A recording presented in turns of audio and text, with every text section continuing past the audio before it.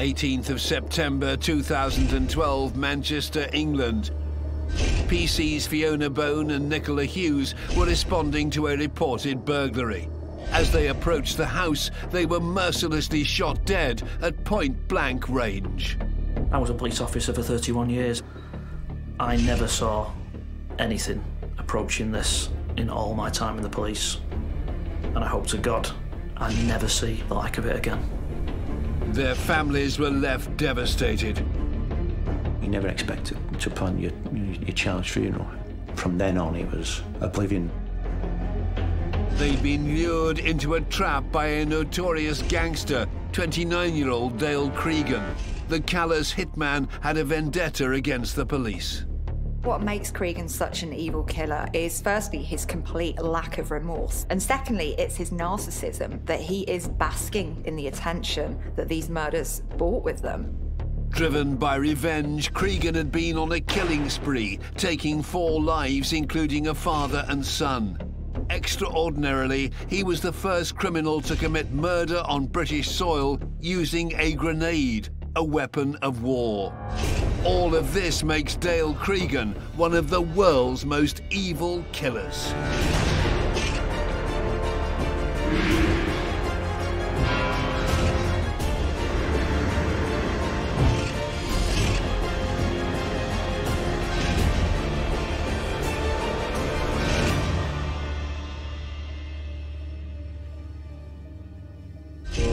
The 25th of September 2012, Manchester in the north of England.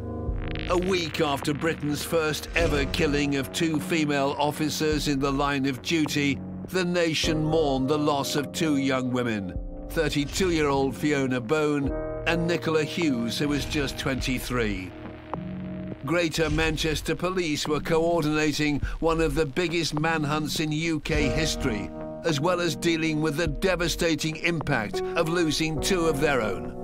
People assume that police officers are immune to dealing with, with, with violence. We're not. We see some pretty horrific things as part of the job. But this was different. This had a feel of being something different. They were someone's mum, sister, daughter, and they had an absolute right to go home that night to their loved ones. And that animal took that away. Local gangster Dale Cregan had ambushed Fiona and Nicola during a routine call-out, then mercilessly fired 32 rounds at the unarmed officers. The impact on the nation was extraordinary. The killing of two innocent policewomen by a madman, a monster. As Manchester lined the streets for Fiona and Nicola's funerals, grief brought the community even closer to the police. It would change policing in the city forever. I think this is one of those cases that people remember because the kind of level of fear and anxiety that this created was unprecedented. But also, it highlighted how dangerous this job can be and how police officers put their lives on the line every day to keep the rest of us safe. In the four months leading up to the murders, Dale Cregan had already established himself as a ruthless killer. He shot father and son David and Mark Short dead in two gangland attacks, then used a grenade to blow up David Short's body. I remember at the time there was a feeling of unease amongst the public. You don't expect grenades to be used on the streets of Greater Manchester. That was something which had never been encountered before and gave us an indication of how dangerous this individual was. For Cregan, it wasn't enough to kill his victims. He had to completely obliterate them. And this signature of the grenade that he claimed for himself does give this case something really sinister. This killer's story begins on the 6th of June 1983. Dale Cregan was born in Ashton-under-Lyne. He grew up in nearby Droylsden, a working-class suburb of Manchester. He was one of four, with a brother and two sisters. This was at a time when the city was kind of going into a bit of a post industrial decline. The area where Cregan grew up was known for having quite a tough reputation. And I think when you look at these communities at this point in time, you've got this kind of culture of toughness and stoicism and resilience. And with that, there comes a particular type of masculinity, a kind of quite toxic form of masculinity that values violence. And I don't think Cregan had a very easy time of it as a child. He was bullied. He was smaller than the other kids. He was quite angelic looking, and that made him a bit of a target. At school, Cregan struggled academically. Dale Cregan was a remote, self centered, ambitious boy who didn't fit in. At school, he always thought he was better than the rest. But what that meant was that he created his own private universe. Cregan, the outsider, would escape to the fields and mete out his revenge on the wildlife he found. Well, as a young age, Cregan started killing animals, and this desensitized him to killing. He also wanted to skin the animals and just show dominance over them and destroy things, destroy living things. It serves as a form of desensitization to killing and hurting living things. The hunting and skinning of wild rabbits meant young Cregan also became adept at using a knife. This progressed into something more sinister. He started with a fascination of knives and it increased to weapons and to guns, anything involved with killing, destroying, weapons, hurting, violence. This all was very interesting to Cregan, and that was part of his personality. Hurting people or animals gave Cregan a sense of reality. He knew full well that he could use violence to re tip the scales. He thought that it made him more powerful. Through his hunting adventures, Cregan also escaped the troubles at home. When he was young, his father walked out on the family. Basically, Cregan decided that he would take on the adult role. He would man up and look after the family. And that altered the way he saw himself. At the same time, he's been bullied and demeaned and suffering the effects of that. He has to kind of step up and be the man of the household. So he's he's quite conflicted, uh, and I think this is something that, that underlies the violence he goes on to commit. At the age of 16, Cregan left full-time education. The outcast who was once bullied found a new sense of belonging and the respect he craved by joining local gangs. Cregan wanted to make his mark in Manchester, which was dominated by gang culture. Gangs were everything. If you were in one, you were a man, you were someone to be respected. If you weren't, you were nobody. Cregan embraced that completely. He wanted to be part of a gang, a man to be feared. It gave him a sense of belonging there's a sense of territorialism, and very often you don't have a lot of empathy for who you consider to be your enemies. His role models are violent men. The people that the community look up to are people who aren't afraid to use physical force to get the things that they want. So it's incredibly important in shaping him. Although he touted himself as a plasterer, soon Cregan made his real money on the side as a drug dealer, selling cannabis on his local patch. At school, Cregan had experimented with cannabis. As soon as he left, he started selling. He also started using and selling cocaine. It was something that he felt gave him power and control over vulnerable people. He was someone to be respected and taken seriously. At the age of 19, Cregan set off on a working holiday to Tenerife in the Canary Islands. Here he had his first taste of organised crime, persuading elderly holidaymakers to invest their life savings into a timeshare racket. Cregan was eminently believable, charismatic. He could persuade people, perhaps who were a little gullible, to part with many thousands of pounds for a timeshare, which in fact didn't exist. But that was one of Cregan's great abilities, one of his talents. Cregan stealing money from older people doesn't surprise me at all. Older people are weak. They're a target. He could get over on older people. And so he'd rip them off. That means nothing to him. This is how he sees the world. He was antisocial to the core. This is the lifestyle he chose. Here we've got somebody who is not afraid to break the rules to get what they want, whether that's instrumental things like money or whether that's expressive things like power and a feeling of worth, status, or recognition. Cregan returned to his drug dealing. He made a lot of money quickly, and this funded exotic trips to all corners of the globe. One, though, would cement his reputation as a hard man criminal. Cregan allegedly lost his eye in Thailand, where he tried to rip off a local gangster, and that local gangster had tortured him and gouged out his eye. Now, for most people, this kind of thing would be incredibly traumatic and very destabilizing, but Cregan took it as something that he could use to carve out a brand, to carve out an identity.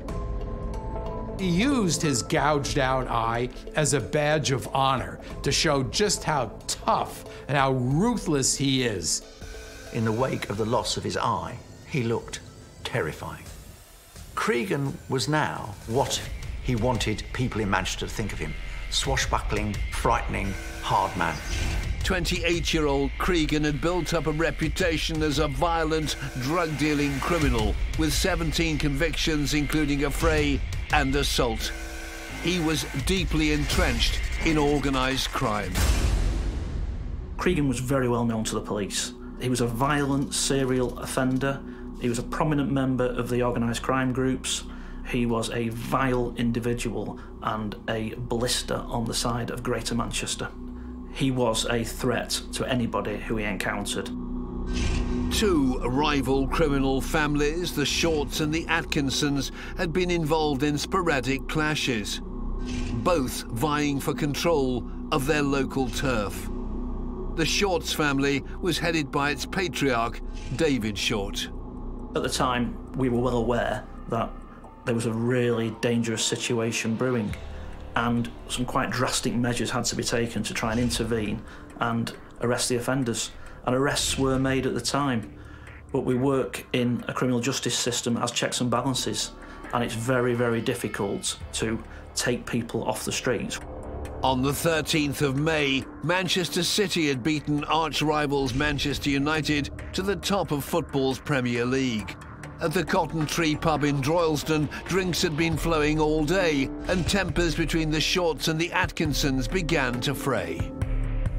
Football rivalry gone mad, but it gave Dale Cregan the opportunity to redress the balance amongst the Manchester gangs, and it started with a bottle thrown these are two individuals who are associated with uh, apparently rival families in this area, and because this isn't the kind of thing that is left to lie, it was never going to end with this. Dale Cregan was close to the Atkinson family, so he wanted to settle the score on their behalf. To do this, he had rival patriarch David Short clearly in his sights. Because of this apparently meaningless incident, everything was ratcheted up a notch or two, and revenge was necessary. Cregan decided that he would take it on behalf of the Atkinsons. Two weeks later, on the 25th of May, Cregan and three accomplices drove to the scene of the first argument, the Cotton Tree pub in Droylsden. He was armed with a 9mm Glock pistol. I think for Cregan, this was something that was very significant. This was going to cement his reputation as this fearsome gangster who would stop at nothing to get what he wanted. 11:49 p.m. CCTV shows a car pulling up outside the cotton tree with its hazard lights flashing. Inside the pub, David Short and his 23-year-old son Mark were playing pool with family and friends. Armed and wearing a balaclava, Cregan ran into the pub. In less than half a minute, Cregan had fired seven shots. With David Short nowhere to be seen, Cregan shot son Mark three times in the chest. Three men with them were also wounded. CCTV shows Cregan's getaway. The whole incident lasted just 24 seconds. It's just utter devastation in this pub. And just to give some sense of how quickly this happened, David goes off to the toilet, leaves everybody having a good time, playing pool, having a drink. And when he returns, he finds that his son is fatally injured. Other people are injured as well. David Short sobbed as son Mark died in his arms. They wanted to kill Short's father. The father wasn't there, so you killed the son. Kill somebody in the family. It was a revenge killing. But soon David Short's grief would turn to anger. This is an absolute blitz on this family, on this community. It's absolutely shocking stuff. Cregan realised at once that only killing Mark Short and not his father David left him with a big problem. There were going to be repercussions, and there were going to be violent repercussions. Revenge was necessary.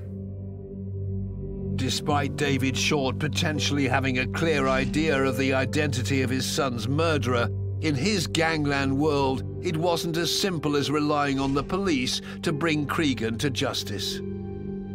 Not surprisingly, David Short wasn't keen to talk to the police. That would be to break the omerta of the Manchester gangs. No, no, there was never going to be any firm evidence. It was going to be done privately.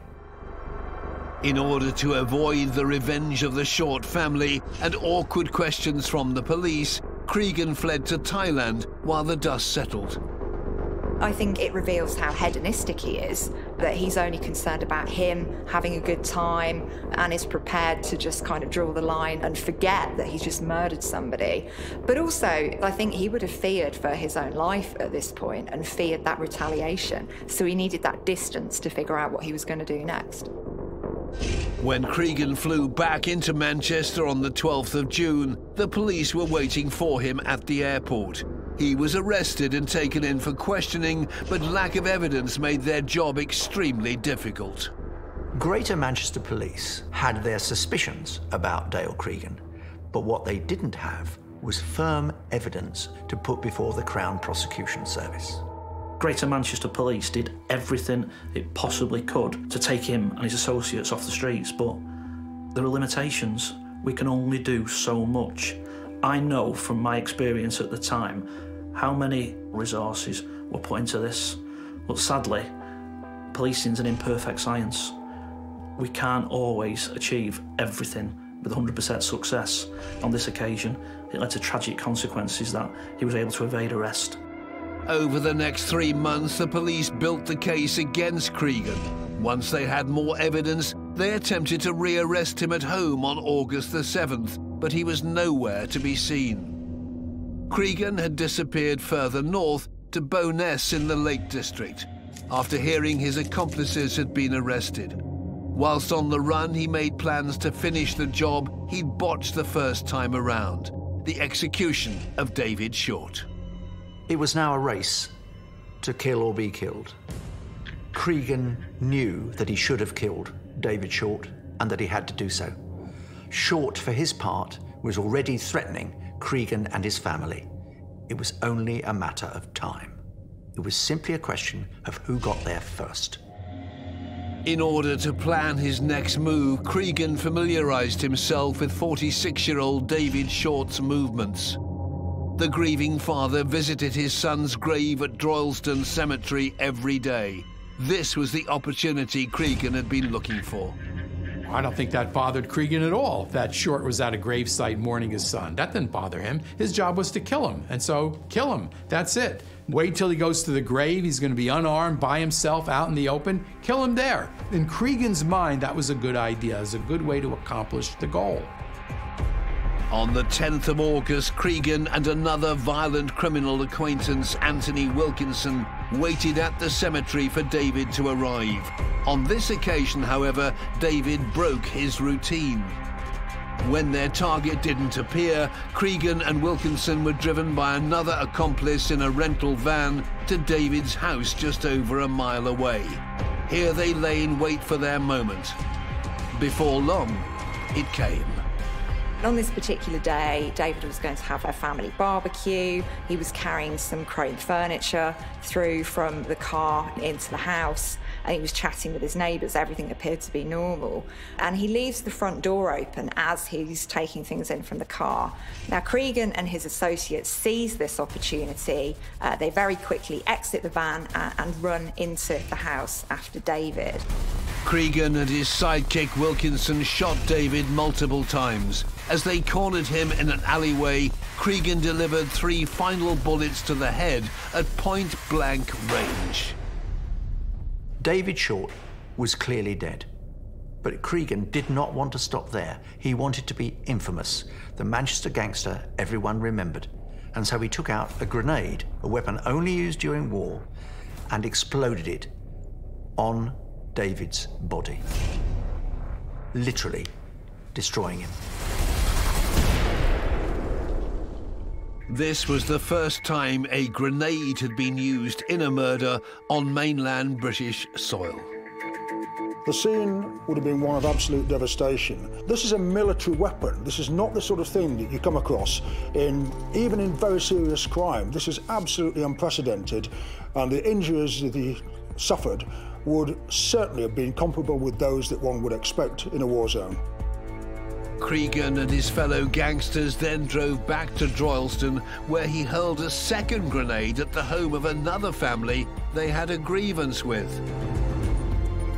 Then he used a third and final explosive to blow up their van before fleeing the scene. Luckily, there were no further casualties, but gangster Cregan had left his mark. There's a very powerful message being sent out here. I'm not just going to kill this person, I'm going to absolutely obliterate them. And the grenade becomes part of Cregan's signature. This is my calling card. Unfazed by the devastation they'd left in their wake, Cregan and his accomplice stopped to buy ice pops during their getaway. 29-year-old Cregan had succeeded in making himself one of Manchester's most feared gangsters. He was on the run after murdering Mark and David Short. But this was no ordinary killing. For the first time in mainland Britain, a grenade was used in a murder. A bomb disposal unit was brought in and residents were evacuated due to a ruptured gas main caused by the explosion. In response, Greater Manchester Police launched Operation Dakar to hunt Cregan down. Greater Manchester Police through absolutely everything that we had in the search for Cregan. He was the number one wanted individual in Greater Manchester, if not the whole of the UK. We knew he was a very dangerous individual. The use of hand grenades in crime is almost unprecedented. They are totally indiscriminate and will cause serious and significant injury to anybody who's within quite a few yards. So to use a, a weapon like this shows a total disregard for human life and for the concerns of anybody else who might be in the vicinity. It wasn't only his vendetta against the Short family that made Cregan the prime suspect. Forensics work on the half-destroyed van he left near the scene found fingerprints belonging to the killer and his accomplices. Now, the police had a clear target and forensic evidence to back it up, which put Dale Cregan firmly in the frame. The police also found Cregan's DNA and saliva on an ice pop wrapper left in their abandoned getaway car. Here too they discovered Cregan's fingerprints all over the inside of the Ford Fiesta, together with empty ammunition cases and the gun magazine. All evidence was pointing towards the one-eyed gangster. It was obviously incredibly important to put Cregan behind bars. We knew that this feud was escalating out of all proportion, and at the time, we didn't know where it was going to end. 14 armed response vehicles were patrolling Manchester at any one time. Meanwhile, Cregan and his accomplices had fled 45 miles northeast to Leeds before travelling another 250 miles south to Herne Bay in Kent. The police issued a photo fit of Dale Cregan and warned everyone that he was potentially armed and dangerous. By the middle of August, a price was put on Cregan and Wilkinson's heads. First, the police offered a £25,000 reward. Two weeks later, this was doubled. The pressure proved too much for Wilkinson, and he handed himself in. A £50,000 reward still stood for information on Cregan's whereabouts, but people who knew Cregan were too afraid to come forward. The people who had contact with him knew exactly what he was capable of, and you can't spend that money if you're dead. And they knew exactly what threat was to them. So sadly, they don't think any amount of money would have caused people to have given him up. Wanted posters were put up across the city of Manchester, and Cregan's face even appeared on the big screens at football matches. Cregan's family and close criminal associates were placed under the watchful eye of the police. But nothing led the investigators to the killer. Cregan was well aware that the police were after him. He was intent on not giving up without a fight, and so he laid a plan his plan was to go out in infamy. On the 17th of September, just seven miles from his home, Britain's most wanted man forced his way into the house of a former acquaintance. He threatened him with a grenade placed on his mantelpiece if he didn't keep his silence. He goes to the house of a barber and essentially holds him hostage and gets him to trim his hair and trim his beard. This is a guy who wants his mugshot to look as good as it possibly can look. So this is real premeditation. This is real narcissism. Well, it's his image. Before he knew he was going to be arrested and be on TV and so on, he wanted himself to look good. That's Cregan. Everything is his image. As the barber's partner and young daughter cowered upstairs, Cregan binged on beer and cigarettes as he enjoyed what he planned to be his last night of freedom. The next day, on the 18th of September, Cregan loaded his Glock semi-automatic pistol with extra ammunition for his final act of terror. The Glock pistol that he used normally has a 17-round magazine. The fact that Cregan used a 32-round magazine just shows, uh, if you like, that he really wanted to do as much harm, cause as much damage as he possibly could. And those 32 rounds could be fired without changing the magazine, of course. All he had to do was keep pulling the trigger. That morning, police officers Fiona Bone and Nicola Hughes were starting their early shift. 32-year-old Fiona was making plans for her forthcoming civil partnership she had a daughter, age five, with her fiance. I actually knew Fiona. I was the shift inspector at Tameside when she joined the shift as a brand new recruit from training school. She was bubbly, she was friendly, she did everything he asked of her with a smile on her face, she was keen to learn. She was just everything you would expect of a young police officer.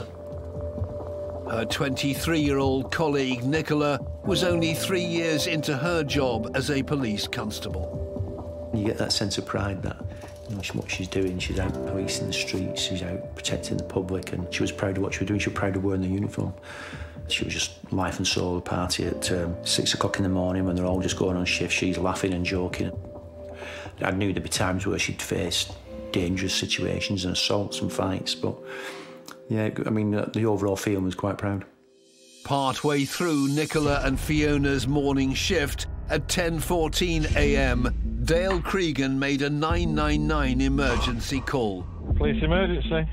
I had someone just threw a big concrete slab through me back window and ran off. Britain's most wanted man posed as a worried resident, Adam, who'd been a victim of crime. Was he a white male? He had an adult mate, so I couldn't really tell you, but... He was a male, though, yeah? Yeah, he was a male. Cregan was planning an ambush on the police. With a clear view of the road ahead, he lay in wait. He had chilling words to end his call. All right then, thanks very much. Okay. I'll be waiting. The call was pretty innocuous, the sort of thing which, you know, Greater Manchester police officers deal with every day. So Nicola and Fiona went to investigate. 38 minutes later, unarmed, Fiona and Nicola arrived at the door. As the two policewomen walked up the path towards the front door, Cregan threw it open and began firing. 32 shots had been fired. So the brutality of this attack was horrific. He was just utterly remorseless. He kept going, he kept deciding to pull that trigger. There was no hesitation whatsoever. Despite being hit between five and eight times, Fiona tried to deploy her taser gun. Cregan's response was a final shot through the heart, killing her instantly. Her colleague Nicola couldn't move after a bullet had severed her spinal cord. Cregan then mercilessly shot her three times in the head at point blank range. After he'd emptied his firearm, that was not it. It was not over. He takes out a grenade and throws it. So he's not just killing his victims, he's obliterating them. And I think that's what he wants to be known for. By killing two police officers, he's securing that attention that he so desperately wants. The whole attack lasted just 31 seconds. I think it's fair to say that the, the moments after the attack, the minutes after the attack, the the police control room was, was absolute chaos. But very quickly a picture started to emerge and Greater Manchester deployed armed officers into, into Tameside straight after the attack.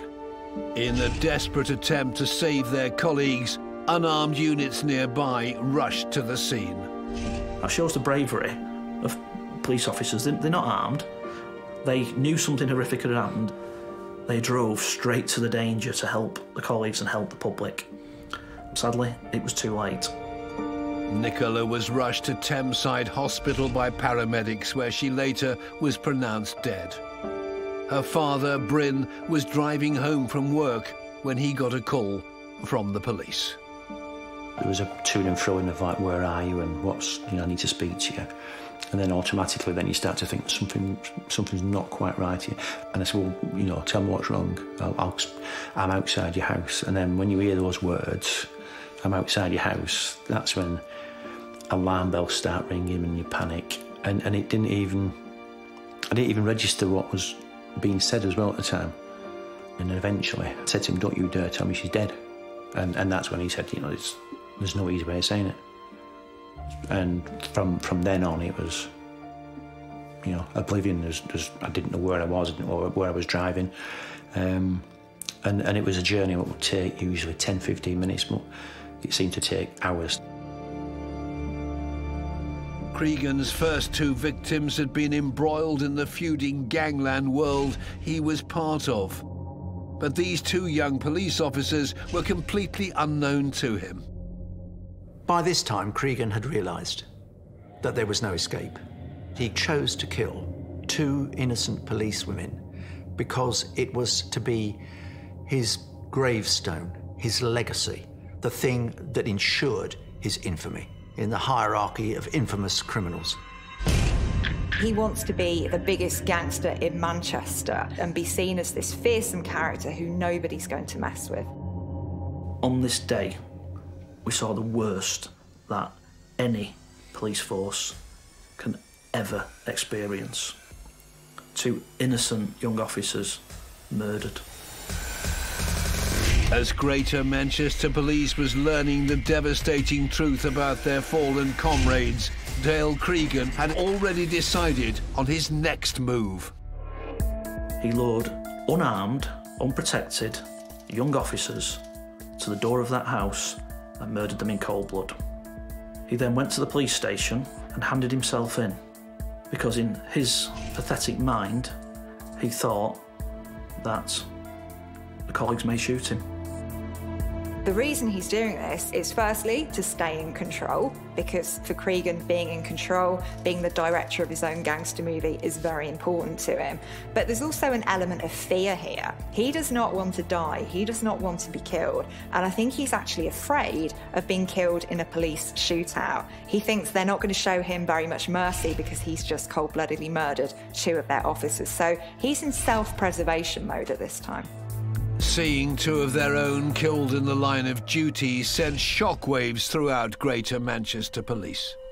Walking into that police station, I'll never forget it. The faces, people had a thousand yard stare.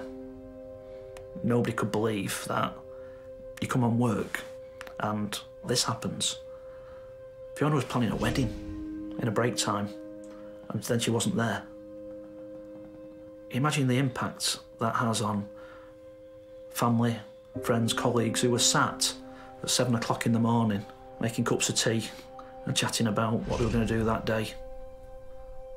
It just beggars belief that they were put through that. And they came back to work and policed the streets of Greater Manchester. And what a fantastic tribute that is to their memory. That they kept going. They were professional, committed, just like Nicola and Fiona. Cregan, however, seemed to revel in his killings. In custody, he told the police it was revenge for hounding his family whilst on the run. He only seemed to have one regret. Cregan says, I'm sorry that they weren't men.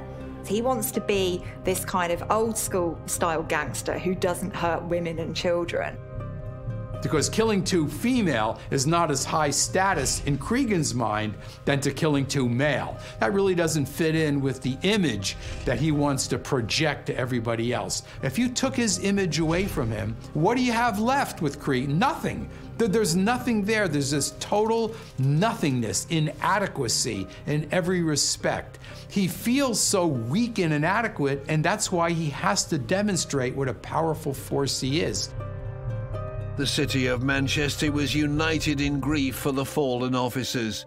A week after Nicola's murder, her father Bryn attended a vigil arranged by the local community for his daughter and her colleague Fiona. And you got that sense of shock and, and outrage and, and grief from the community. The police, they deal with murders day in, day out, um, but not their own. So I think for them as well, it was a massive shock, massive outpouring of grief from, you know, not just Greater Manchester Police, but every police force in the country. There was a bond created between Greater Manchester Police and its communities. They came together, and I'll never forget that. This Manchester spirit was truly brought out two weeks later on the 3rd of October, the day of Nicola Hughes's funeral. I'll never forget standing at the bottom of Market Street and it was like a Derby Day football game. People were pouring down Market Street, wearing black ties. It was absolutely humbling. I heard a story about a, uh, a group of officers having done a full night shift and drove to Manchester to stand with their colleagues. That was incredible. Shops closed, banks closed, Manchester came out. It was incredible. When Nicola's father, Bryn, arrived, he saw thousands of well-wishers lining the streets on the route to Manchester Cathedral. At the back of your mind, you, you, you think, I don't want to be here, I don't want to do this. It was like a, a huge tunnel of faces, and you recognise some, and you you know, there's, there's people crying and there's people clapping, and, you, and, and I think you, you soak that up. It's like an energy, but you, it helps you get through the day. Fiona's funeral followed the next day on the 4th of October. Again, Manchester paid its respects. Four months later, on the 4th of February 2013, serial killer Dale Cregan finally faced justice. 120 armed police officers were used to ferry Britain's most wanted killer from Strangeways Prison to Preston Crown Court each day. This was one of the biggest trials in recent times, in certainly in the northwest of England, if not the country. And Cregan had to be housed securely and taken to court every day. And there was a massive security operation. Armed police were placed on the roofs surrounding the court building so that nothing was left to chance. Nine other accomplices also faced trial on charges of murder and attempted murder. Despite confessing to his murders, Cregan opted to plead not guilty on all counts. That animal forced the family and colleagues to go through a trial. The judge commented on how he tried to manipulate proceedings for his own amusement. He had no remorse. He was a monster. Cregan, horrifying though it may sound, wanted to bask in his own infamy. He wanted no one ever to forget the one eyed Manchester gangster. He was characteristically arrogant, tried to feign disinterest. To use an old fashioned phrase, he was trying to play to the gallery as well to some extent. But I think everybody in that room knew exactly what kind of person he was. In a final act of manipulation from the dock, Cregan decided to change his pleas during the 18 week trial, pleading guilty to all four murders. On the 13th of June 2013, it was game over for Dale Cregan when he was given a whole life sentence. Five of his criminal accomplices were each sentenced to between 7 and 35 years in prison. Cregan was one of very few people to receive a whole life order for four murders, so he will never be released from prison. He'll never have the chance for parole. And these sentences are reserved for the most serious violent offenders who've done the most harm and are perhaps the least likely to be rehabilitated. So this is very, very serious indeed. For relatives and colleagues of his victims, they finally saw justice. I mean, obviously we knew you can't commit four murders and not get a whole life tariff. To hear the judge actually say it, that's the big relief. And I think it's the relief that it's finally over. And they did finally got justice for what had happened to them. It didn't seem to take away the sense of loss, though. Two young colleagues had been cut down in the prime. There was nothing to celebrate. I know that across Greater Manchester Police, people felt the same. There was no celebration. The murders of police officers Fiona Bone and Nicola Hughes had a lasting impact on policing the UK's second largest city, Manchester. This did change policing in Greater Manchester, and I felt it almost immediately. What this did was show to everybody that police officers aren't just uniforms. These are somebody's daughters, sisters, mums. These are people who have the same problems in their lives, same stresses. It brought the communities closer to Greater Manchester Police. As for Dale Cregan, after spending five years in Ashworth Psychiatric Unit in Merseyside, he was sent back to Her Majesty's Prison Strangeways in Manchester, where he'll likely spend his remaining days. In his world, his pathetic world that exists in his head, he thought he was a big man. He'll die a pathetic, wizened old man in prison. What I want to do is highlight and contrast that against what Nicola and Fiona stood and still stand for, and that's decency, public service, and compassion. Their names will never be forgotten.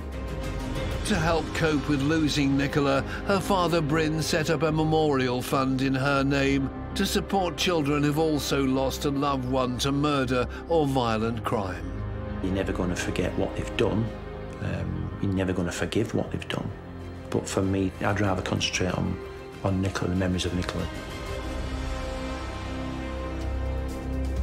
Dale Cregan gunned down a father and a son, then recklessly threw grenades onto the streets, putting the public in danger as part of a petty gangland feud. He mercilessly slaughtered two unarmed police officers with their whole lives ahead of them. He brought terror to the streets of Manchester, making Dale Cregan one of the world's most evil killers.